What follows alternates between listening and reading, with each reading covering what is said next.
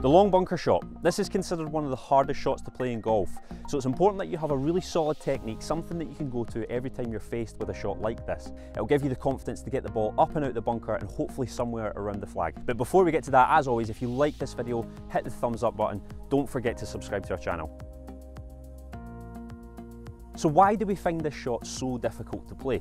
Now with the usual greenside bunker shot, the first thing you probably do is grab your sand wedge, maybe a 56, a 58 or 60 degree wedge. And if you don't have very far to go at the flag, that club usually would be okay. But right now I've got 30 yards to the flag, so if I was to pull the most lofty club in my bag, I'd have to be very, very precise. I'd be trying to clip that golf ball off the top of the sand, get it out to the flag, maybe a little bit of spin, and stop it close.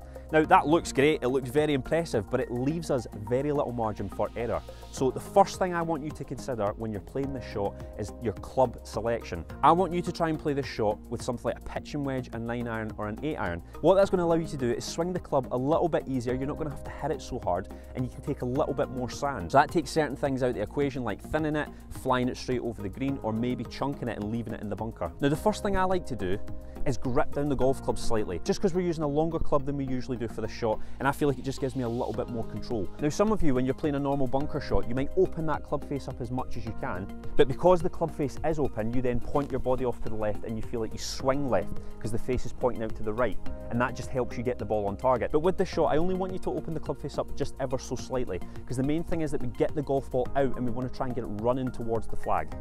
So if you're going to open that face slightly, just do that first and then you can grip down the club.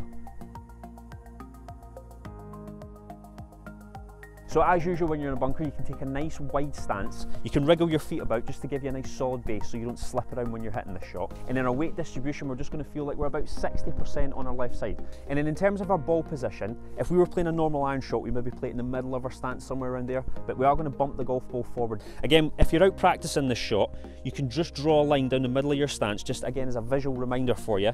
So every time you set up to play the shot, that's where you want your ball position to be. Now this is one of the most difficult parts of bunker plays. Where do we hit hit that sand. Now as a marker, I think it's quite good to aim around two to three inches behind the golf ball, means we get it out and we'll get it running towards the flag.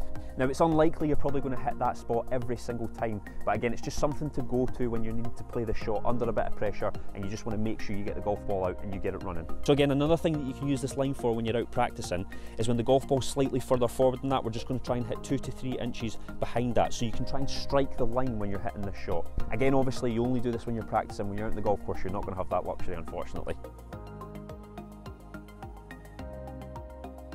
Now this is where a little bit of trial and error comes in. How hard do we want to hit that golf ball? Now as I say, I've got a 9 iron here, so I'm not going to be hitting it as hard as if I had maybe a 50 or a 60 degree wedge. So what I suggest is when you're out practicing, maybe take a 3 quarter swing with this club and just see what kind of result you get. This is why it's important to practice this shot before you're faced with it on the golf course, because you need to know how the golf ball is going to react.